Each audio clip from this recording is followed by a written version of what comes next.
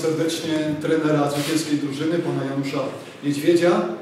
Panie trenerze, bardzo proszę Pańska ocena wydarzeń na Stadionie Ludowym. Dzień dobry przede wszystkim. E, no oczywiście jesteśmy bardzo zadowoleni z tego, że z trudnego terenu udało nam się wywieźć trzy punkty. Mm, dzisiaj kilka bardzo fajnych rzeczy wydarzyło się podczas naszego e, grania. Pierwsza, pierwszy raz, od kiedy jestem trenerem Widzewa w meczu ligowym straciliśmy bramkę i też straciliśmy bramkę jako pierwsi. I też sam byłem ciekaw, jak drużyna zareaguje, bo można sobie mówić szatni, można opowiadać, ale też byłem ciekaw, jak właśnie mm, podejdziemy do takiej sytuacji, jak też zawodnicy poszczególni zareagują. No i nasza odpowiedź była taka, jaką byśmy oczekiwali, czyli odpowiedź dwoma bramkami, e, no i później w konsekwencji te bramki dały nam e, te trzy punkty. No, przede wszystkim można być zadowolonym z drugiej połowy, w której myślę, że była taka pełna kontrola.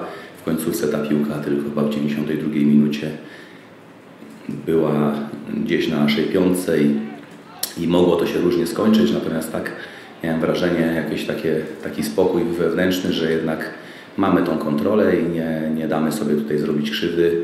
E, mogliśmy pokusić się o kolejne bramki, bo e, kilka sytuacji mieliśmy, ale no zawsze powtarzam, że e, jeśli się wygrywa, no to oczywiście każdy by chciał jeszcze więcej, ale myślę, że e, spokój teraz, e, pokora do tego, co, co się wydarzyło, bo oczywiście mamy teraz komplet punktów po dwóch kolejkach, ale to jest tylko początek, dobry początek, taki, który da nam kolejny bodziec do, do, do dalszej pracy.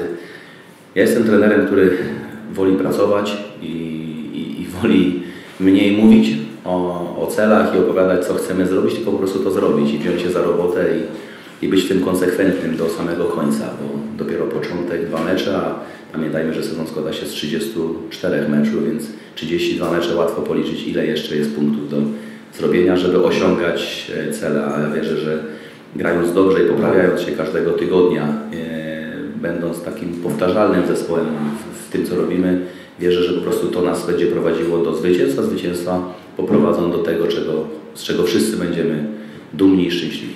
Witam na pomeczowej konferencji prasowej trenera Zagłębia Sosnowiec, pana Kazimierza Moskala. Trenerze, pańska ocena meczu Zagłębia z Widzewem Łódź. Dzień dobry. Myślę, że mm, przede wszystkim najważniejsze to, że nie udało się mm, dobrze tutaj zainaugurować tego nowego sezonu. E, chcieliśmy e, zagrać dobry mecz e, i, i zgarnąć trzy punkty. Jednak okazało się, że Widzew bardzo dobrze grał w piłkę. Nie wiem, może się ktoś ze mną zgadzać lub nie, ale z mojej perspektywy przynajmniej tak to wyglądało, że minimalnie byli od nas lepsi. Nie, nie wiem, czy stwarzali sobie więcej sytuacji, czy nie, bo tym, my też mieliśmy swoje okazje do tego, żeby jeszcze ten wynik zmienić, ale przede wszystkim w drugiej połowie kontrolowali wydarzenia e, na boisku, lepiej utrzymywali się przy piłce e, i po, tym, po tej pierwszej połowie, kiedy pomimo tego, że szczeliliśmy pierwszą bramkę, e, później rzut karny i druga bramka spowodowała, że mieliśmy w drugiej połowie większy kłopot z tym, żeby przejąć kontrolę nad, nad meczem. Tak jak powiedziałem, dobrze się utrzymywali przy piłce, nie panikowali, potrafili długie fragmenty kontrolować to, co się to, co się działo i nie chcę tutaj nas usprawiedliwiać tym, że pogoda była taka, ale właśnie ta druga połowa, e, wynik i, i, i to, co e, ten wynik determinował w drugiej połowie, na pewno nam nie ułatwiało e, tej gry. Gratuluję Widzewowi trzech punktów. Naprawdę wydaje mi się, że mm, zagrali też niezłe spotkanie. Natomiast tutaj my musimy robić swoje i, i patrzeć na mm, następny mecz, który, który przed nami. Mamy teraz y, trzy mecze wyjazdowe, więc y, na pewno punkty nie będzie, nie będzie łatwo, ale mm, ja wierzę w ten zespół i myślę, że dzisiaj to i tak y, nie było e, wszystko, na co nas, na co nas stać. Ja mam jeszcze do trenera pytanie wybiegające troszkę poza protokół meczowy. Panie trenerze, znalazł się Pan w gronie legend krakowskiej Wisły. Został Pan wybrany do 11 115-lecia. Jak Pan przyjął, przyjął ten wybór? No cóż, jest to na pewno dla mnie bardzo, bardzo miłe i wielkie wyróżnienie.